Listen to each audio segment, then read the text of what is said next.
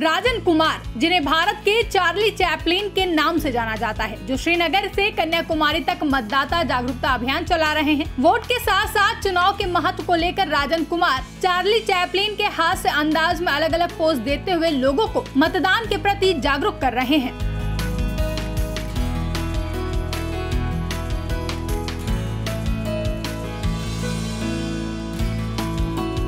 राजन कुमार को लोग भारत के चार्ली चैपलिन के रूप में जानते हैं। वह कश्मीर से कन्याकुमारी की यात्रा पर निकले हैं। उनका मकसद बेहद खास है। वह चुनाव आयोग के ब्रांड एम्बेसडर हैं और लोगों को मतदान के प्रति जागरूक करने निकले हैं, जिसके चलते उन्हें चार्ली चैपलिन के गेटअप में श्रीनगर में घूमते हुए देखा गया, जहाँ उन्होंने स्थानीय लोगों में मतदान को लेकर जागरूकता बढ़ाई। वहीं राजन कुमार ने कहा कि मैं यहाँ चुनाव आयोग के ब्रांड एम्बेसडर के रूप में हूँ। यह सुखद संयोग है कि मुझे धरती के जन्नत कश्मीर में आने का मौका मिला है। Right now I am brand ambassador for election commission of India SVEEP activities का, मुंबई से। तो कश्मीर इतफाक है कि मुझे आने का मौका मिला।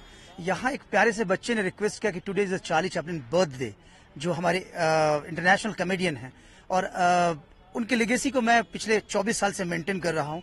तो उस बच्चे के रिक्वेस्ट पे मैंने आज इस लुक को यहाँ लिया। और सडनली मेरे जहन में आया कि मैं कश्मीर में हूँ, दुनिया के स्वर्ग में हूँ। यहाँ भी चुनाव है जनरल इलेक्शन है।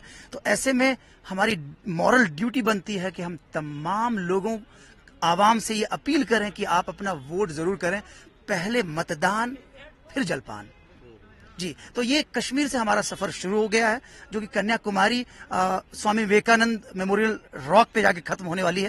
बता दें कि जम्मू कश्मीर और लद्दाख में धारा 370 हटने के बाद पहली बार लोकसभा चुनाव हो रहे हैं। यहाँ लोकसभा की छह सीटें हैं। यहाँ चुनाव पाँच चरणों में हो रहे हैं, जहाँ 2019 के आम चुनाव में जम्मू कश्मीर की छह सीटों में से तीन पर भाजपा को जीत मिली थी और तीन सीट पर नेशनल कॉन्फ्रेंस को जीत मिली थी। ब्यूरो रिपोर्ट, इंडिया पब्लिक खबर। फ़िलहाल के लिए इस खबर में बस इतना ही। देश और दुनिया की ऐसी ही तमाम बड़ी खबरों के लिए हमारे यूट्यूब चैनल को सब्सक्राइब करें और बने रहें इंडिया पब्लिक खबर के साथ।